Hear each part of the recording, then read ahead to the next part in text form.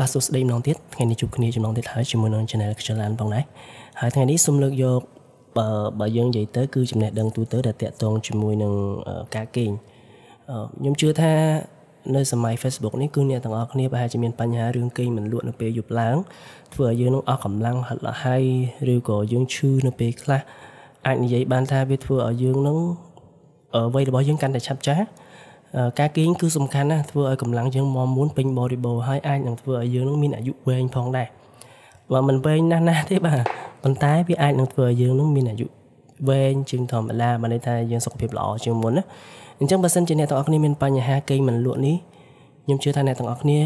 ពិតជាចង់ដឹងទីថាតើធ្វើយ៉ាងម៉េចដើម្បីឲ្យយើងគេងលក់ស្រួលនៅពេលយប់ផងដែរអូខេនេះគឺជាចំណុចជាច្រើនដែលតាក់ទងជាមួយនឹងការគេងពំលក់ អឺយើងយើងជៀសវាងនៅចំណុចជាច្រើនហ្នឹងទៅយើងនឹងមានអារម្មណ៍ថាយើងអាចនឹងគេងលក់ស្រួលនៅពេលយប់ឡើងធ្វើវិធីទី1មិនត្រូវយើងជៀសវាងវិធីទី2បើជៀសវាងបានទាំងគ្រប់ចំណុចរត់តែល្អអូខេឥឡូវយើងទៅមើលចំណុចទី1គឺហាមទទួលទានជាតិហ្គាសចូលទៅក្នុងសាររាង្គកាយអ្នកដោយសារតែវាអាចនឹងរំខានដល់ទំនេររបស់អ្នកបាទជាតិហ្គាសនេះគឺមានច្រើនដូចជាទឹកក្រូចប៊ីយ៉ា និង bla bla ជាច្រើនទៀតផងដែរដែលមានជាតិហ្គាសហើយទឹកក្រូចនេះមានច្រើនម៉ាក់ប៊ីយ៉ាក៏មានច្រើនម៉ាក់អឺយើងជៀសវាងទៅក៏ល្អដែរហើយចំណុចទី2គឺហាមញ៉ាំកាហ្វេមុនចូលគេងរយៈពេល4ម៉ោងដោយសារតែជាតិកាហ្វេនេះធ្វើឲ្យអ្នកនឹងមិនងងុយដេកទេបាទជាការពិតណាគឺការផឹកកាហ្វេនេះសម្រាប់អ្នកដែលចូលចិត្តហើយក៏ដូចជាអ្នកដែលមិនចូលចិត្តគឺពេលដែលញ៉ាំទៅ វាអាចនឹងធ្វើឲ្យយើងនឹងគេងមិនលក់បើន័យថាយើងមិនសូវមានអារម្មណ៍ថាស្កប់ក្នុងការគេងព្រោះនឹងវាដាស់ស្មារតីយើងឲ្យយើងភ្ញាក់ធ្វើការគ្រប់ពេលវេលាអូខេយើងទៅមើលចំណុចទី3គឺទុកគ្រឿងអេឡិចត្រូនិកឲ្យឆ្ងាយពីគ្រែគេងរបស់អ្នកដោយសារតែពន្លឺរបស់វានឹងធ្វើឲ្យមានផលវិជ្ជមានសម្រាប់ការគេងរបស់អ្នកបាទសំទោសផលអវិជ្ជមានមានន័យថា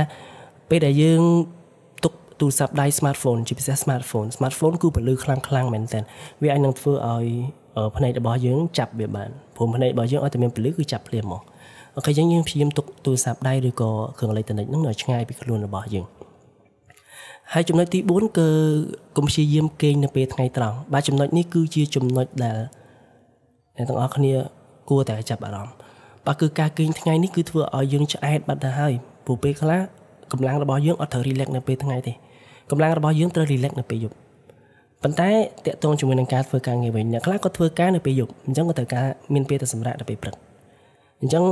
លក្ខខណ្ឌធម្មជាតិបណ្ដាគាត់ត្រូវបង្ខំចិត្តគេងនៅពេលថ្ងៃត្រង់ឬក៏ពេលព្រឹកនោះអញ្ចឹងបើសិនជាសម្រាប់យើងទៅធម្មតា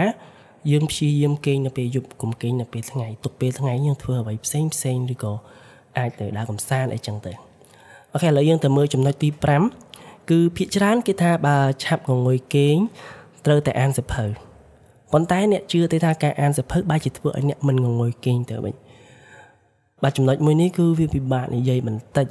ព្រោះដោយសារអញ្ចេះអ្នកដែលអត់ចូលចិត្តអានណាអានមិនក៏អត់ងុយដេកដែរតែបើអ្នកចូលចិត្តអានវិញអានជក់កាន់តែខ្លាំង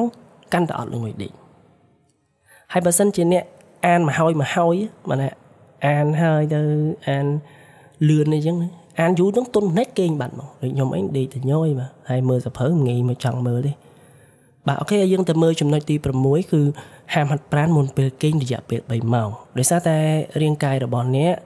រត់ចលនាច្រើនធ្វើឲ្យអ្នកមិនអាចគេងលក់បាទនេះគឺជាចំណុចដ៏សំខាន់ផងដែរការហាត់ប្រាណនេះគឺសម្រាប់ប្រុសប្រុស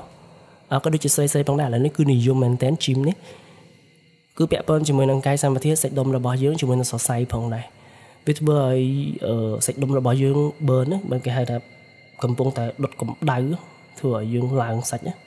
អញ្ចឹងយើងយើងធ្វើឲ្យសាច់ដុំនោះចាប់ដើមរីកឲ្យយើងឈឺអីចឹងទៅរាងកាយរបស់យើងចាប់ដើមមានអារម្មណ៍ថាស្ពឹកសពុនអីចឹងទៅពេលខ្លះលហាត់លហើយអាចគេងលក់តែពេលខ្លះលហាត់លហើយខ្លាំងពេកដល់ថ្នាក់គេអត់លក់ឈឺក្បាលវិលមុខអីចឹងទៅអូខេហើយចំណុចចុងក្រោយគឺ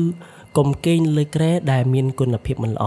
ព្រោះវាធ្វើឲ្យឆ្អឹងរបស់អ្នកហ្នឹងมันមានភាពស្រស់ថ្លានៅពេលក្រោកឡើងពីដំណេកនោះទេបាទត្រូវ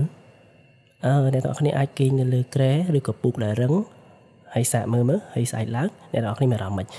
ហើយមួយទៀតអ្នកទាំងអស់គ្នាអាចគេងនៅលើពូកដែលទុនស្រួលហើយអត់មានការរំខានហើយអ្នកទាំងអស់គ្នាងើបមកហើយអ្នកទាំងអស់គ្នាមានអារម្មណ៍មិនអឺបើសម្រាប់ខ្ញុំខ្ញុំធ្លាប់មានបទពិសោធន៍នៃការគេងនេះគឺមែនជាក់ស្ដែងបើសិនយើងគេងអត់ធម្មតាអត់មានអត់មានក្រាលអីសោះហ្មងទៅចាក់ស្រួលមែនទេប៉ុន្តែព្រឹកឡើងវិញមិននិយាយស្ពឹកសពុនហ្មងខ្ញុំអត់ដឹងថាដែលមានតែខ្ញុំម្នាក់ឬក៏មិនប៉ុន្តែពេលដែលគេលើពុកគឺស្រួលណាស់បាទ